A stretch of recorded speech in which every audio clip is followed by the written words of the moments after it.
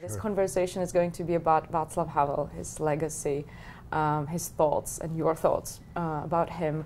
Um, how did you meet Václav Havel? How did you get to know him?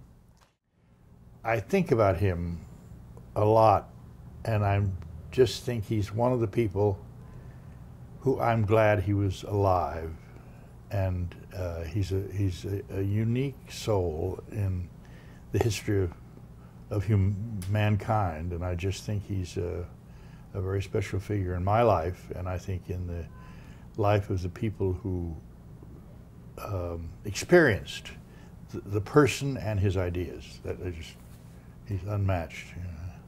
So you were uh, the ambassador in Czechoslovakia yeah. in so the I, 80s. I went.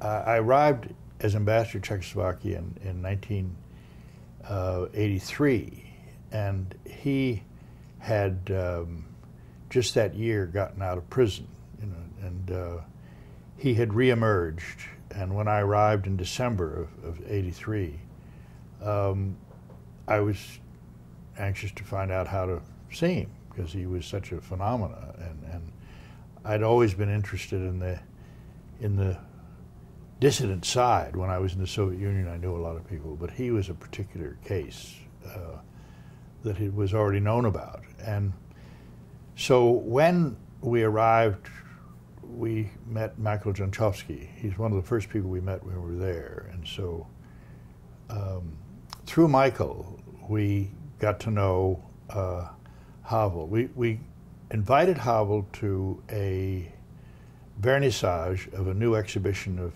contemporary art that we had in the residence. The, the, collection arrived, I think, in February or something. So we had a vernissage, and we invited him. And it was the first time I met him, and the first time he came to uh, the residence.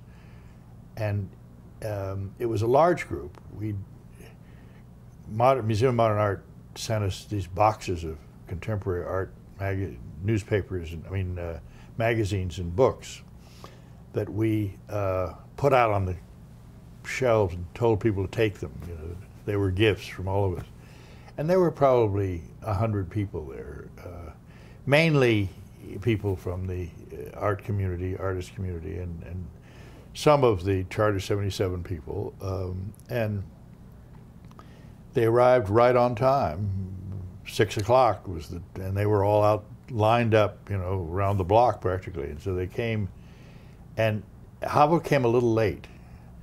And I remember I was coming down the stairs, and I looked into the um, library, and here was Havel. Uh, actually, uh, it, he was talking to uh, um, Francine du Plessix Gray, who was visiting us at the time. She's a writer, a French American writer. And Cleve Gray, her um, husband, is a painter. And they were our first real visitors, and they were, in, in their day, quite well known in the country.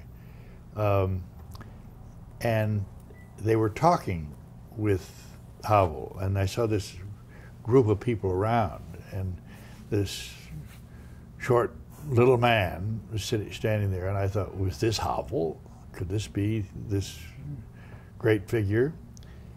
And I sensed an aura uh, around him that is just rare. You know? And I think it was this static, the electricity coming from people who just wanted to be near him. It wasn't that he was charismatic or terribly imposing but he was a presence, and uh, people like to be in that presence. And it's it's you know I've I've often thought uh, from that first moment and and then up to now what it was that made people want to be with him, and and uh, and that's sort of what we'll be talking about, I think. Mm-hmm. So, what do you think the first drawing moment for the people who wanted to be around him. What was it? You said that he wasn't a especially charismatic person, but at the same time he had this aura. Was it his behavior? Was it something was coming out of him? I, I think it was his stature from his tenacity as a man of ideas during this difficult period in, in, in Czech history. I think it was um, his humor, his his just charm. Uh, I mean, he believed in um, community, and Charter 77 had already been founded, of course, and the community that was created around his sort of universal thinking. Not a social democrat, not a priest, you know, not, not a um, not identified with any of the famous wings so much as as somebody they could all relate to, and so he was sort of had this capacity to make people feel that he'll listen to them, and uh, and his humor was a lot had a lot to do with it. Uniquely Czech humor, just and, and everything, and he didn't take himself so very seriously. He had no pomposity. He had no. He was just a this humble power. How much do you think he himself was shaped by his context of upbringing, maybe social context in which he grew up, and then which changed obviously during the time? How much did it influence the way how he behaved? He talks about this in one of his early letters. By the way, I think I like his letters because they, they're all uh, the essays are wonderful, but the, the, letters sort of are focused. And in one of his early, I guess, essay or letter, he, he wrote about that. And, and he talks about because he came from a bourgeois family, he was placed at the bottom. And he said, I think he said something like, I am, I, I was able to relate so much because I looked from bottom up he didn't look from top down. He, he was placed in the bottom. And so he, he got to know uh, a lot of life based on his perception as a, as a young man, as a child, really. Um, and uh, I think he was, uh, you just read his essays, and he's, he's a loner. I mean, in the sense that he, he really felt uh, at one point he goes and lives in Hradeček for quite a while.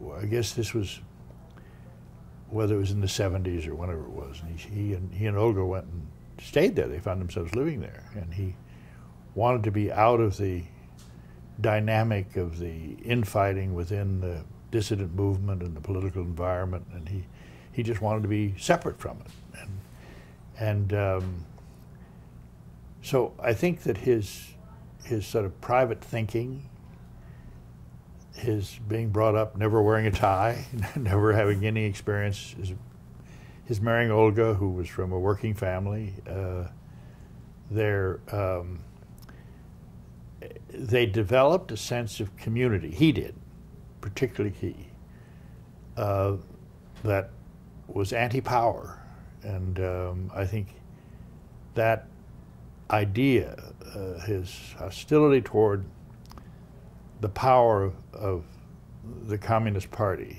and of political authorities in general, um, grew during the period of, of the, uh, particularly after 68, but before as well, that it shaped his whole framework of, of the individual being the center of the universe. Yeah well, some of the oral histories, or even the perception of Havel as a politician, is that he wasn't such a great politician because of the personal traits that he was very shy, that he was uh, a loner, basically, as as you mentioned. Do you think that's a valid point, or?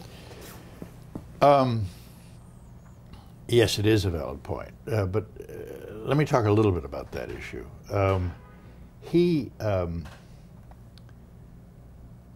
uh, I remember when he was inaugurated, Wendy and I, my wife and I, were in Vladislav Hall when he was inaugurated president in this great space where the kings and former communist presidents were um, were inaugurated, and we were standing up front because he I, we were his guests there, and and uh, he came in walking down the aisle. Um, and sort of shuffling the way he does, a little bit bent over. Uh, all of the people around him much taller than he was, and uh, not looking very presidential. And I said, and I said to myself, uh, Václav, president of this country, you know, he got at the podium, and he had to be sworn in. And when he did it, he stood up, and his his voice came out forcefully. And um, I said, My God, you know, he's been created before our very eyes. He's been transformed. And, and um, it was a, it was, for me, it was always this memory of that moment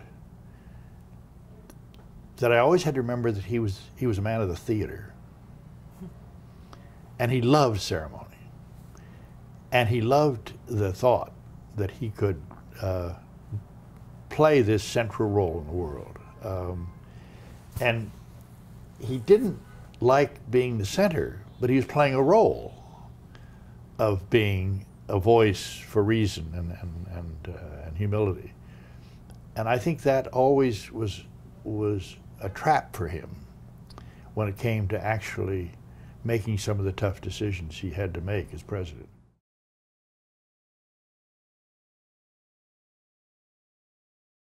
When we go back um, to Havel before he was a politician, Havel, uh, playwright, a writer, yeah. Uh, you were there in the 80s. What was the audience of Havel's work at that time? Well, he, they didn't perform his plays, you know, and he he uh, you the plays I think stopped being performed in the 70s, and which is frustrating for him. They were they were performed in the United States.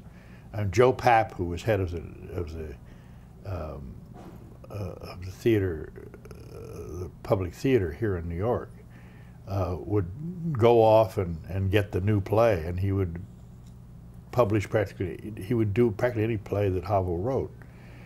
But Havel himself, after those early days at Na Zábradlí, uh, when he uh, worked there and was so happy being, you know, part of a theater and a group that he liked. Um, as far as I know, they were done in bedrooms and, and you know, apartments rather, and, and, and they were not they were not allowed to be. So his not allowed to be played in the theater. So his he was deprived of that experience of seeing how people reacted and having the feel that a playwright wants, because playwrights are unique. You know, they, they have they're they have an audience that's there, and they want that audience to demonstrate to them how's the play gone. And uh, he didn't have that experience, and it frustrated him. Which is understandable. Oh, absolutely. How, how did then the American audience understand the plays? Because, of course, they are universal in their message, but at the same time, sometimes it must, been, must have been very difficult to understand the context of a country which is a totalitarian country here in the US with a history of democracy. Yeah.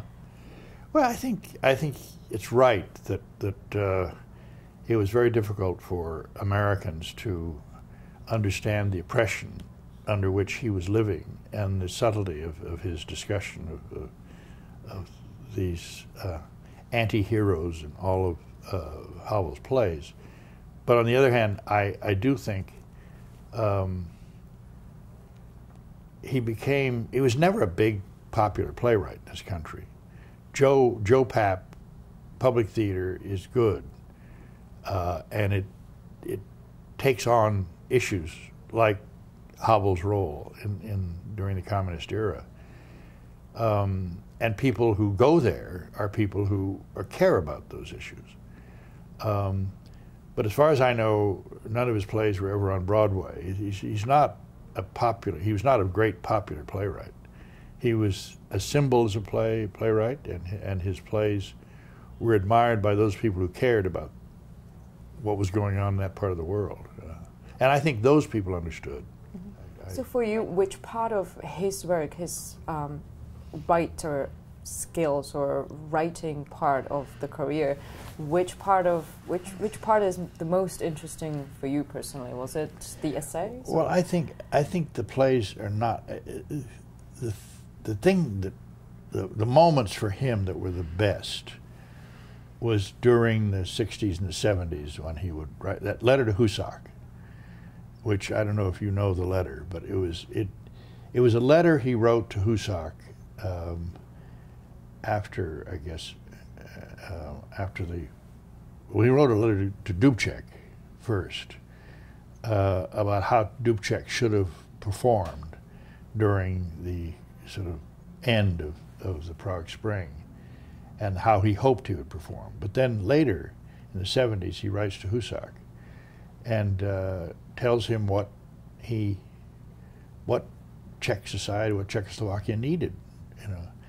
And it was a, it's a long letter, and it was quite a statement of opposition, but in his elegant, well, not elegant, in his thoughtful way. Uh, and that kind of letter positioned him to be the power he was within the uh, the opposition, and he said things in ways that were not angry, but so penetrating, and it's hard for me to imagine Havel that uh, that Husak ever read that letter.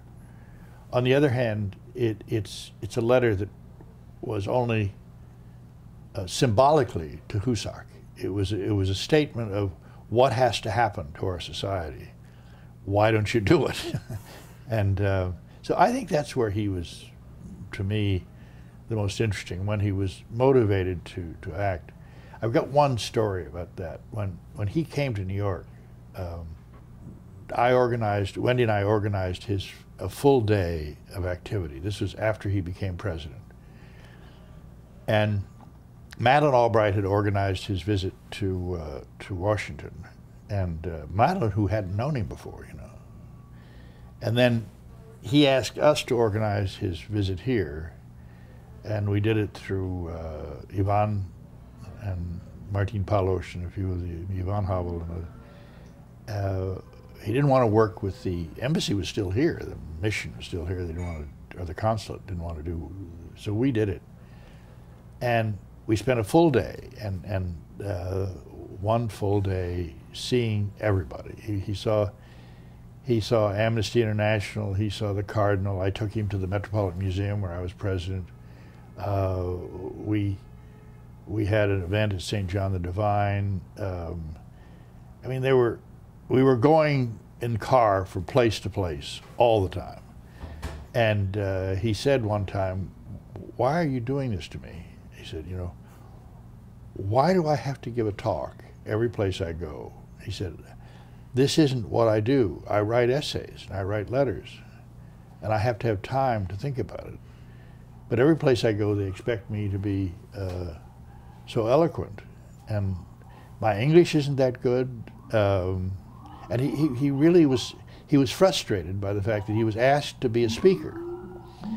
Uh, he'd given his speech to the Congress, and he just didn't want to give a talk every every 10 minutes. You know. And I told him that you don't have to say something different every time, but they just want your presence. You are a phenomenon. And think of it that way.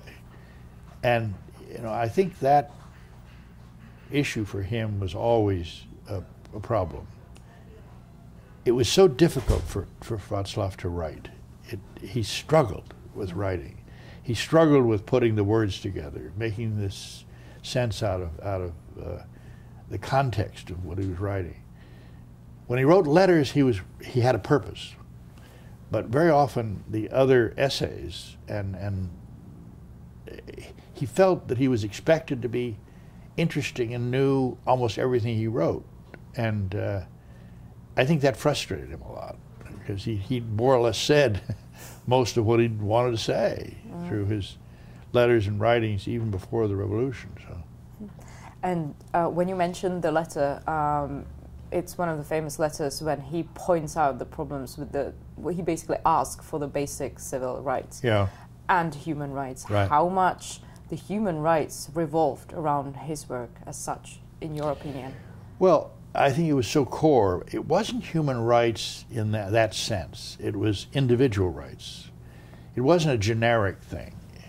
I mean, his philosophy was so anti-power and so believing in the um, role of the individual, taking responsibility, identifying themselves as a player, and it was that that was so telling because it was so contrary to everything Marx had and others had des- designed that people are part of a structure in which they are guided and they are moved and they are told what to think, what to do. And his ideas about in, that core in the power of the powerless, uh, it, uh, and frankly, um, later, um, are, are, are somewhat different than human rights. They became a human rights cause after. But he had a more profound, I think. It's, it's not how do governments treat people, which is the human rights agenda. It's how do people themselves uh, identify their role and responsibility in society, which is quite different in, in a certain sense. And he, it, it morphed into the other as he became more and more a prominent figure in the world.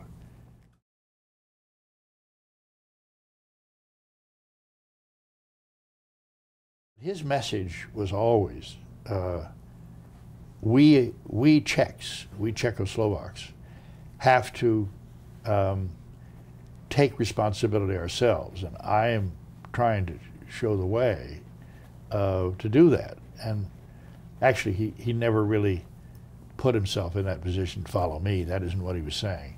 But he was saying that we have to be bold and, and courageous and honest and straightforward with ourselves.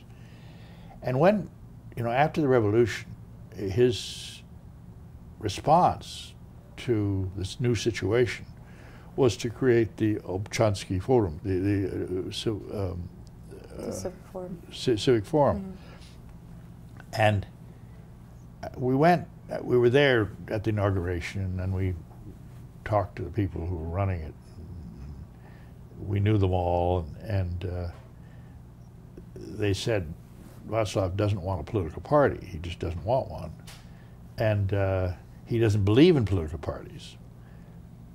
So he um, he believed the Občanský Forum would be a new type of way in which uh, human beings would relate to each other in a new, free, open system.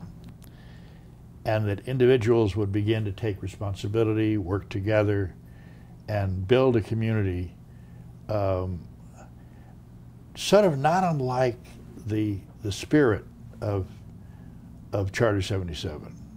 We all had differences, we got along, and we had an objective. And our objective should be to create a fair, open, democratic society. And democracy is not based on a political party, it's based on individuals.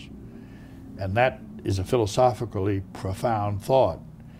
And I don't think many people really understand that.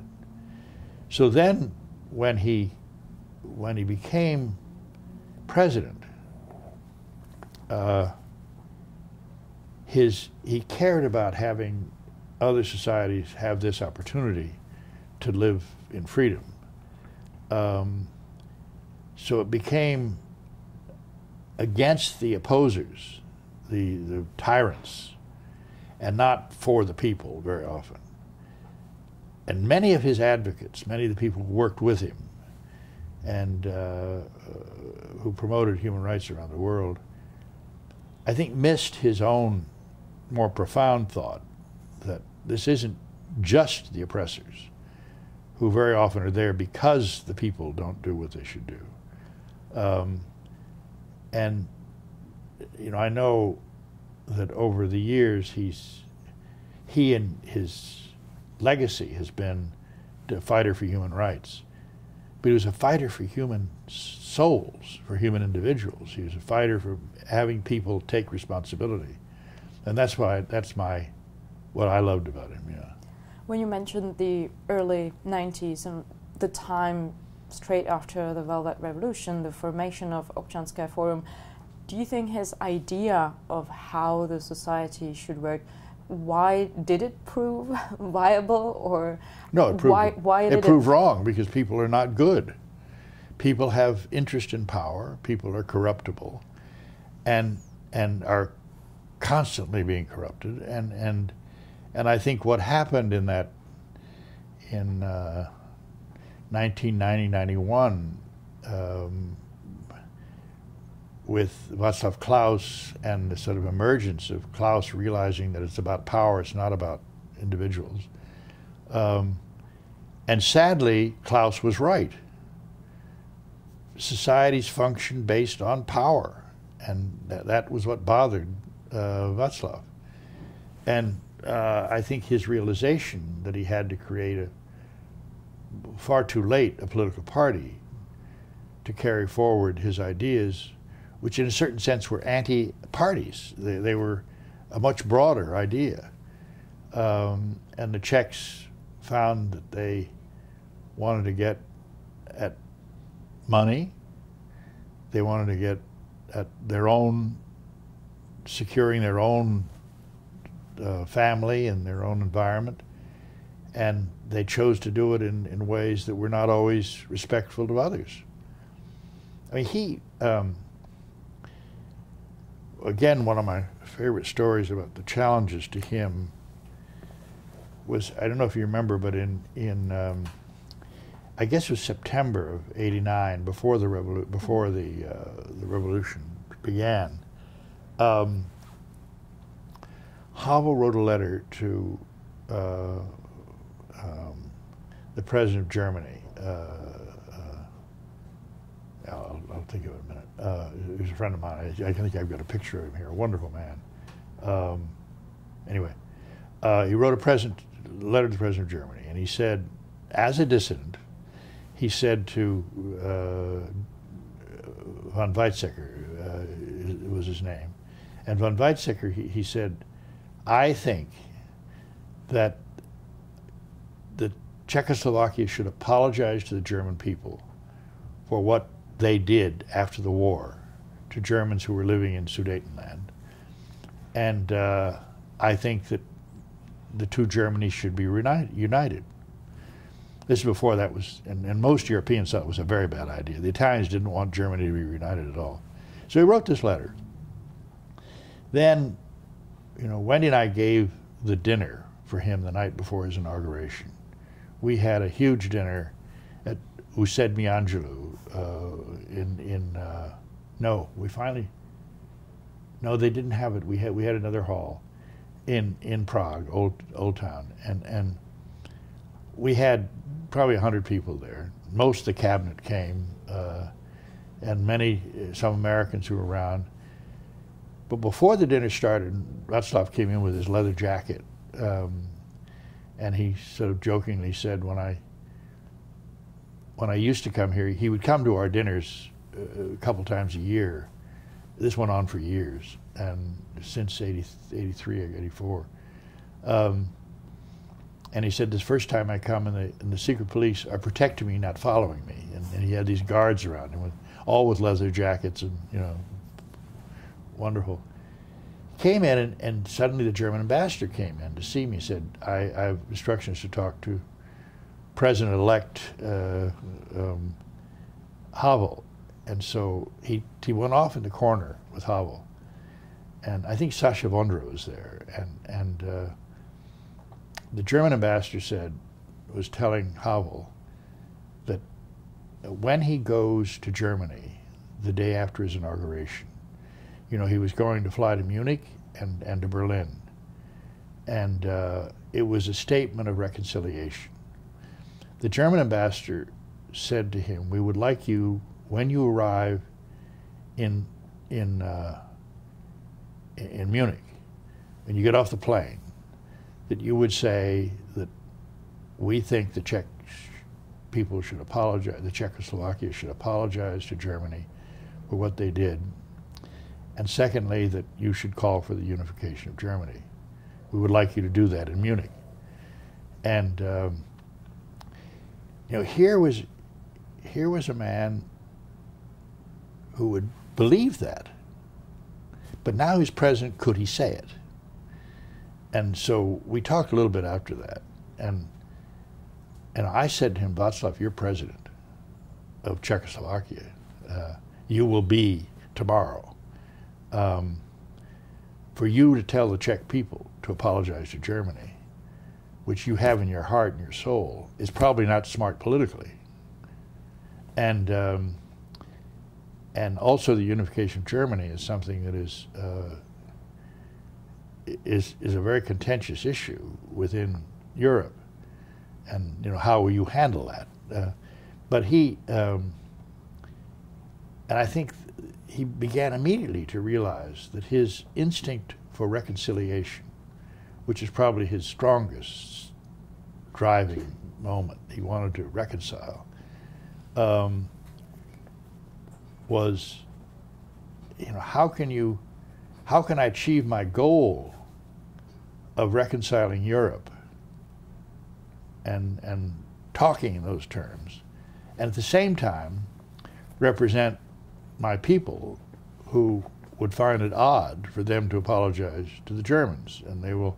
It'll take a while for them to understand what we did, why we did it, why that was unfair and unjust, even though they'd done the terrible things they'd done to us. Uh, and so I think he he began early on um, finding uh, his core thinking about, in this case, about reconciliation. He was many times criticized for his stance to the Communist Party um, after the Velvet Revolution. Yeah. Do you think the, the urge to reconcile was a driver for his stance towards the party? Here it's interesting. Um, it, it's complicated, and that's one of the most, most subtle things that he did, I think. When, you know, after the, and I will tell you another story, after his inaugural address, he was inaugurated in he was sworn in in Vladislav Hall. Then he went up to a balcony in the castle and spoke to the people. And it was a wonderful speech. Uh, and funnily, I was, I was down right under the, where he was speaking, and I ran into uh, the communist, former communist foreign minister, who was there. Uh, you know, um, anyway, and he was, he was a Slovak. Um, from Ruthenia, I'll tell you his name. And so after that, Havel walked across for the first time since the Kings of Bohemia, and he went into St. Vitus, and he was, uh, um, there was a Te Deum uh, uh, that was given a Dvorak, and um, the cardinal was there. And uh, I was standing for for a few reasons just behind Olga, uh, not near being behind Olga. And standing next to me was the Minister of Defense, who was the Communist Minister of Defense. Um, and when, after the Te Deum, the Cardinal was lifted down, he could hardly walk then, and all these dissident priests who were then working with him, um, and brought him to Havel. Um, and they came together. It was the, the country was coming together, it, like in the old days. You know? And, and um, this guy, this minister of defense, was crying. Communist minister of defense. And so Havel realized, unlike what happened in, in Iraq, when we fired the whole army of, of Saddam Hussein, rather than using them as a, as a national force. Havel realized that, that the military would more likely support the nation than the party. And he was right. He was criticized for a long time about that, that he, he, he kept, he kept the, uh, the communist prime minister, he kept the minister of defense, he kept uh, uh, so many people in office because he knew that they didn't know how to govern. How do you govern? We don't know how to govern. We've never had this. And he knew particularly his gang were um, had no experience doing this, and, and it's it's a it's a very important aspect of running a government is governing, and um, so I think that uh, what was his name Čalfa, I guess, was the prime minister, and he was criticized for keeping him on, and yet and and there were it wasn't a particularly happy uh, experience, but had he named somebody like Sasha or somebody, uh, some of his pals, it wouldn't have worked. I mean, he needed guidance. He needed understanding of what what do I do as president? You know, what is my day like? Uh, what, how do I read all these stupid papers I'm going to read? Respond to presidents from around the world. Uh, never mind make decisions on economics, which is the major major thing that they needed. They need to sort out how do they run the economy. Uh, so um, my own sense is that even though he his his instinct was uh, to free everybody, his other instinct was reconciliation um, and the practical business of running a country, yeah? and that's What do you think was his um, relationship to communism as such, as an idea? Well, he says at one point that he was a socialist, but that didn't mean a socialist party. I mean, he did have a, I think he's socialist in the sense of being fair uh, to uh, how people earn their money and get their money and having everybody have an opportunity, uh, which theoretically is a socialist idea. But, uh, and I guess my my response to that is twofold. I don't think he was, in the traditional sense, anti-communist. Um, but I do think he, uh, his whole point of view was alien to Marx. Marx believed in the force of capitalism defining human beings. He believed that human beings define human beings and a profound, profoundly different idea about what what it is that, that makes uh, a society and people work together.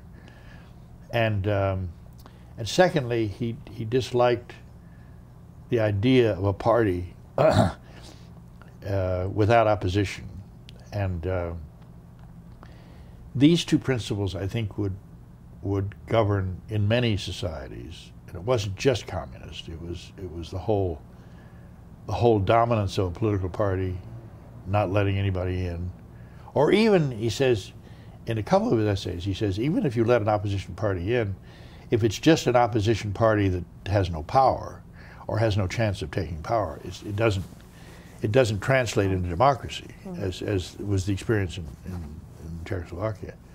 Um, so I guess what I'd say is that he he uh, he chose not to be right against communism. He wrote against the phenomena of a dictator or a dictatorial party and lack of individual responsibility. You know, when we talk about the roles he played, um, Havel, a dissident, how do you how do you think he perceived the idea of being a dissident? How how do you think he related to the term, and what is your personal uh, take on it? What what did it mean for him to be a dissident? Um, he talks about this too uh, a lot. Uh, the, the, the role he played and how people deal with dissidents. Um, I mean, it's fundamental to his view of the role of individuals that he was an individual called a dissident, but he was expressing what he believed was of value to to the role that people should play in this situation in Czechoslovakia. And uh, he wasn't, he himself wasn't going to go out in the streets. That's not the way he was. He was, basically, it was about ideas, about perpetuating the thought, growing the thought that we as individuals must be uh, stand by what we think. So when you go back to the uh, 80s, uh, the time when you met Havel, um, was he, in your perception, a person who the general public knew something about? How how do you think? was he a public figure, according to your observations at that point? Well, he, he the was the thing is, the, the the large, the large group of people uh, had no notice of him from the from the press they got in Czechoslovakia. I mean, there was no. He was not sort of front page news. Havel does this. He was not in the press. They kept him out. They learned from uh, the BBC, from Voice of America, from uh, Radio Free Europe, uh, and the, the radio reporting on him, your media, uh, was uh, extremely, uh, you know, thorough, and we, you know, when we were there, my conceptual approach to our role was to keep the light on Havel. And so we invited, you know, practically every month or so we'd have a major writer. We had, you know, we had Updike and Cheever and, and uh, uh, we had probably 15 major artists and writers and they'd come. And the deal I had with them is they'd go back and talk about the fact that they'd met with Havel and who he was and what his, what his role was. And so the major objective we had was to keep his name alive in the in the press uh, outside, which has a, a plays back. Uh, now, how much the Czech Czechoslovaks themselves, outside of, of the group, knew about Charter 77, knew about him personally, knew about his group. I guess I don't know a lot about that. I think since the media was so awful that what was efficient was the voice, the, the rumors and reports. And in fact, I found in, in many communist societies that people, when they reported what they'd heard, were fairly accurate. In retrospect, when you look um, at the at the strategy uh, which you chose uh, for the basically for your diplomatic um, work over Yeah. there in Czechoslovakia, in really difficult circumstances, um, which you just described, Yeah. do you think that is a maybe more valuable approach? Two questions, two parts of the questions. How important was it as a moment for the Czech dissent? Um, do you think that was the thing which Yeah. kept them alive partly? Terribly important. Terribly important. And that's the one thing they say. Uh, and uh, Michael Žantovský in his book has some mention of it, but, most of them remember that, that. And when I'm introduced to, to Czechs today, that's one of the things most people who were around then knew that that was our strategy. And by the way, all the NATO countries, we would meet every month with the NATO ambassadors, and they all knew what I was up to, and they criticized it. They said it's making life difficult for them that I do this. And then when, when we transform it to today's situation, because obviously there are still that many countries, for example, Russia, uh, where the opposition is basically completely minimalized and has no influence whatsoever. Um, Cuba, for example. So do you think this approach would have been more viable? I've always felt this, and I feel it as strongly today as I did then. And, and I, my, my first, I learned this because my first job in, when I was in the Soviet Union, because in those days my Russian was very good, and I, I uh, so I got to accompany John Steinbeck on an official visit by the Union of Writers. He was invited. I, and Edward, I met Edward there. John Updike. Uh, I went with uh, John Cheever. Uh, so I accompanied them for almost a month, three weeks when they'd come, and a, and a couple of major painters. And so I became convinced of how uh, effective it was. And and I did that when I was ambassador to Venezuela. Uh, that I insisted to the media people uh, in the embassy that I didn't want to appear on the front pages ever on military issues or on oil issues. I wanted my face to be around the arts.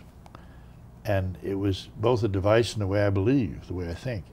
And so uh, we have, we brought a lot of artists to Venezuela because the image of the American ambassador, and the American ambassador was a very important role. It wasn't me, it was a very important role because we, we really were a power in, in Venezuela. Mm. So I wanted to change the, the vision of that power and remind people that we also do other things other than invade countries. And um, and now, um, you know, I, have been very close to Cuba over the years, and I tried to. Uh, I established relations with Cuba in, in 1977. We opened the U.S. interest section there and and had our first diplomatic presence, even though it wasn't called a diplomatic presence.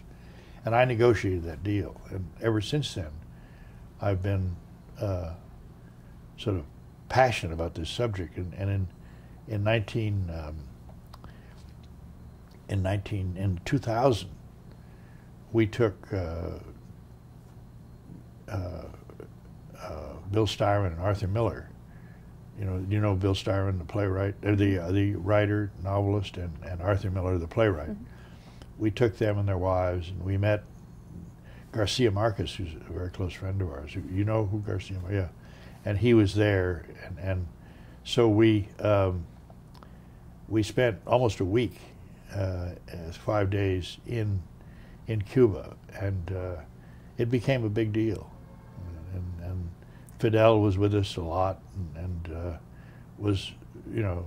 Um, clearly, it was it was a major statement, and so now uh, Wendy and I have started a new program with Cuba precisely in this area. Now that the door is sort of opened a bit, mm-hmm. uh, we took uh, Frank Stella, who's a major American painter there, uh, um, a uh, about a month ago, just before the president had his visit. We we had a, a five-day visit to Havana with Frank Stella, and it was amazing. And, and we tell the government we're doing it, and they they support it, and, and we have a plan to have at least two major artists visit Cuba. Mm -hmm. So you are a strong believer of I the cultural diplomacy absolutely, concept. Absolutely. Yeah. Not as a vehicle, just as a, a, way to get to know people, to, to, get people to relate to people in a different way. Yeah. Mm -hmm. And so, how much were the lessons from uh, then communist Czechoslovakia important for you personally to translate them into events and actions uh, towards other countries? Is it? Well, I'd had this, you know, and I think the the the, the incredible moment that we had during that two three years in, in Czechoslovakia was just a, a, certain sort of a light, life transforming moment because I personally had a profound dislike for Marx and what he stood for, and for Lenin, which was basically the Havel view. I already had this. The Havel view was Marxist, completely wrong about human beings, and Lenin is completely wrong about power. And it wasn't necessarily communist as much the way societies are organized. And when Havel came along, he was just a breath of fresh air for me. And, he was a, he was just everything that I'd, I'd, I'd thought I'd never thought anywhere near as profoundly as he had, but they were part of of a worldview that had driven much of my career. Mm. And he was just the answer. When we go back to Havel's legacy, do you think the perception of him has changed since his death? The issues have changed. The issues have changed. And that's, that's what's. Um, the role of the individual is still important But the problem is the structure of societies are crumbling. Uh, governments are collapsing. So I guess I would feel that from a philosophical point of view, Havel's role in establishing a sense of individual responsibility is, is, is a big, lasting principle. Um, but you don't have the dictatorial uh, quite in the same way you did during the communist period and the fascist period. Um, certainly in the case of China, uh, you know, you have a Communist Party which is uh, authoritarian and the problem, uh, but you also have lifted 300 million people out of poverty.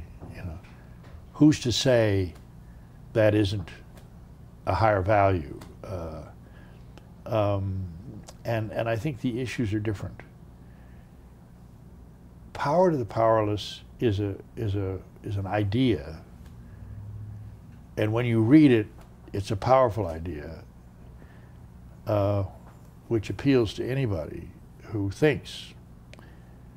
But people who don't think, and most people don't think, most people don't have anywhere near the philosophical understanding that Havel projects onto the world.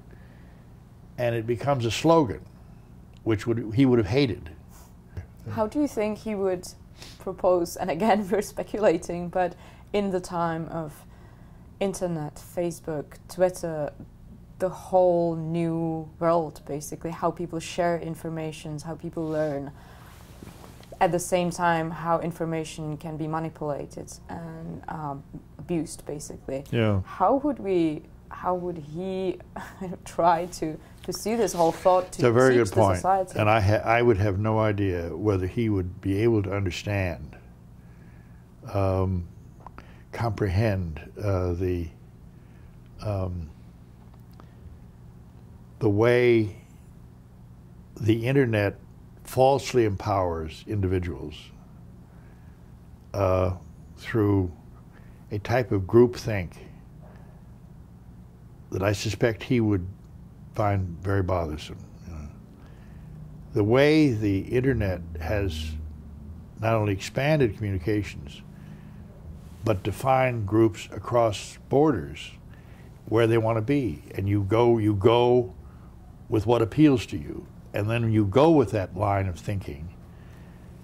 Uh, have your Facebooks and your Twitters and everything related only to people who appeal to you. And it closes the doors to a lot of other things that are important. Havel, of course, talked about uh, morality, um, but he was at the same time trying not to be a preacher, not to be someone who just sits there and says what, what people should do, exactly back to the responsibility. But when you look at the politicians, uh, even today, how important of a trait morality is in terms of politicians. Do we need morally very strictly based politicians? Well, you know, here we are with Donald Trump facing us, um, and uh, although I, you know, won't go into Hillary, I- I think she's not anywhere near what they say she is, or, uh, but um, I guess I look at Obama, and I think he's a very moral person uh, and I think he he won the election because he stood for a high set of values. Whether he was an effective president, I don't know. But I think I'm very proud of the fact that he was our president. And uh, I don't know. I mean, he. You would never think that he would be corrupt, would you? You wouldn't think that he's sort of dipping in somewhere or that he uh, will go out and and uh, and become a, corrupt individual. I think you you probably think that he will do what he can for the world and for American society. Um, so I don't think it's all gone. Uh, I mean. Uh, I mean, I think he cares about a lot of the things that are of value and that Havel would care for. Um, we have we're in a bad dip right now in this election campaign, and, and I I hope that if Hillary emerges as the president, she will establish a number of new values, including women as president, um, and you know I, I, I- hope that she will be um, the smart person who figures out what. Uh, um, needs to be done now, given our situation. Um, morality, uh, it's hard for me to judge her morality. I mean, I think she, I think, I think she's a smart, fair person. Uh, she's had some bad moments. Uh, she stuck by her husband in a very immoral moment uh, for him. Um, but we'll see. And I know a lot of politicians in Washington who are really good people, uh, who care about this country. And I wish there were more of them, but uh, I do believe that morality is extremely important. Uh, I guess in the sense of uh, not whether you're off having a woman here or there or a man that, is contrary to your your familial obligations is less disturbing for me as it was to Václav than it than the issue of your moral your your social moral responsibility and, and uh, to your society and to the world. And you know I think he was a impeccably moral person who had some other things that the Puritans would suggest wasn't high morality, and, and part of it he was very Czech, and part of it he was uh, he was um, he did spend a lot of time thinking about the issues that are the big ones. So, do you think he will be remembered as a person who still kept his strong oh, yeah. internal integrity, philosophical yeah. thinking, and Abs was able absolutely. to combine it with political power? No, that's different. I mean, I think I think that was what really troubled him, and what ultimately ended in a sort of I guess I say tragedy, but I think at the end, the the image of him dying alone with the with the nuns around him in Hradeček without his wife there, without his friends around him. Uh, it was a, I think it was a sad moment for a man who was a giant of a human being. That he, um, I think his his humbleness was admirable. Uh, his self doubt was admirable. Um, but whether it worked for him as president is something I'll never never quite understand. I mean, I think that's what unraveled a lot of his, his approach. How do you think he would see today's society and the broader context in which in Prague? Are?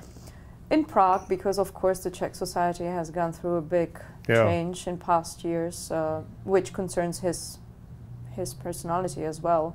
The whole complicated relationships of Czech Republic to Václav Havel. Of, very mm often I get it here the questions: Why are not Czechs appreciating yeah. Václav Havel's legacy enough. Well, I think that was part of his tragedy. He, was, he knew he knew when he died, he was not loved in his own country, which is. Then there was this huge turnout after he died, which uh, he will be probably the most powerful legacy that the Czech people ever have, including some of your great writers. I mean, he really has to be stand as in the world as a major figure but also, like so many, uh, somewhat somewhat tragic in the sense that he he could not. His ideas were great, but he couldn't see them. He didn't know how to execute them uh, because he didn't believe in power. Mm. And had he tried to execute them, it would have changed him fundamentally, and probably not achieved what he wanted. I mean, you power can't bring about what he wants and what he would like human beings to be because human beings aren't that way. And I think he uh, maybe, I mean, I, I part with those who believe that people are good. I think that people basically, like the founders of this country felt, that people are given to corruption and, and, and greed. And, and, and so you have to build into the society through law a protection of individuals from other individuals because they're going they're bound to be uh, bad not bad they're bound to be self-promoting and and corrupting and they they will corrupt you um, and there's some great people who believe that people were good and, and you just give them a chance and they'll be great and I, I don't believe that So that was my that was a fundamental difference I have with Václav. I may be wrong. Maybe he had somewhere in him that other contention, but I, I think um, finding ways to condition uh, people to be more free and more responsible. Nobody's come up with that mode of governance yet. We thought we were getting there in this country. I'm afraid we didn't make it. Uh, whether we can do it, you know, over time, we have a good chance, but uh, we're in a bad period in which I don't think we're proving ourselves able to do that. Um, so I think he, he, his frustration and his tragedy was, in a certain sense, the human tragedy. That the world that he thought was possible isn't. And uh, the Czech Republic that he thought should be cannot be. You know, that, that's frustrating. You know. What do you think he would see the role of Czech Republic today, um, even in the broader context when we talk about transatlantic alliance um, and the dynamics within When, the, uh, European Union?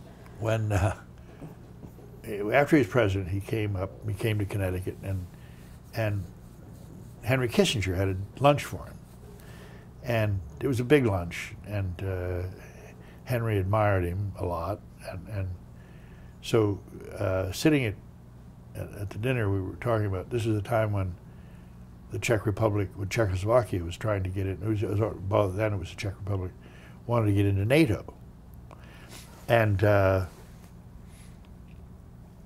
uh, he was he and Henry thought the best thing in the world for Czechoslovakia was or, or Czech Republic whatever it was get into NATO.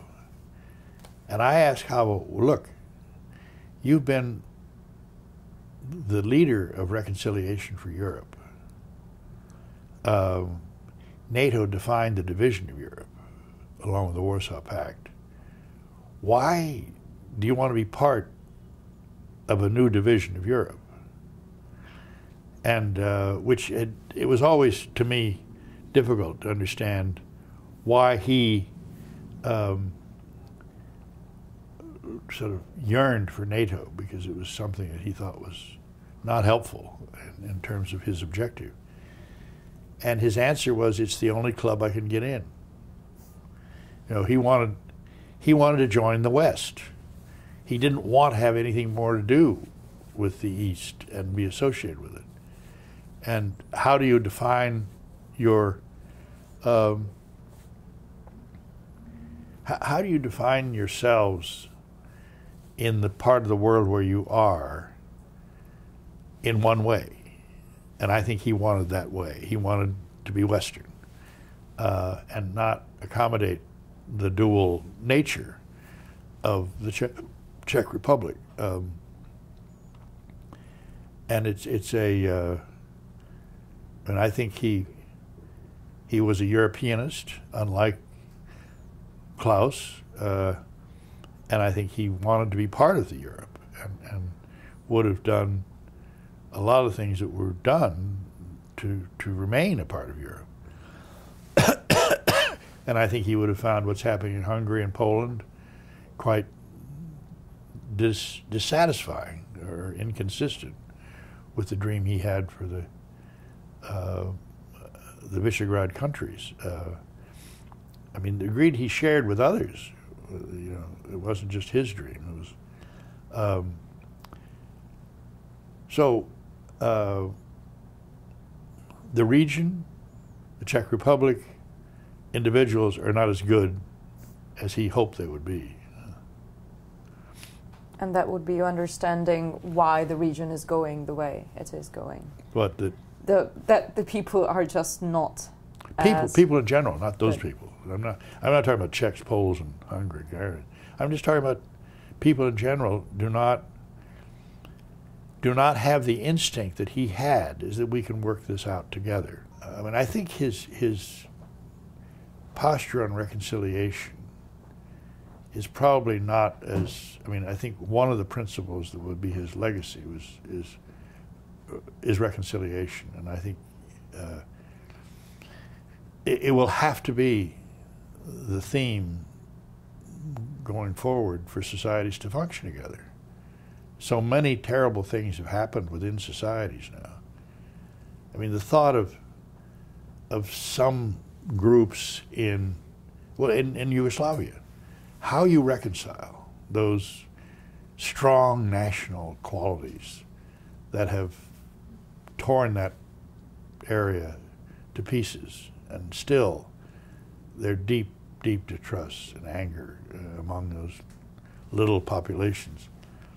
And you, you transfer that to the Middle East, uh, and unless you can get a spirit of reconciliation within Iraq and with Syria, I mean, never mind Libya, with the, with the tribes, it's just it's just hard for me to imagine um, how it can happen without a spirit of reconciliation. And they, they'll need Havel to imbue them with that spirit.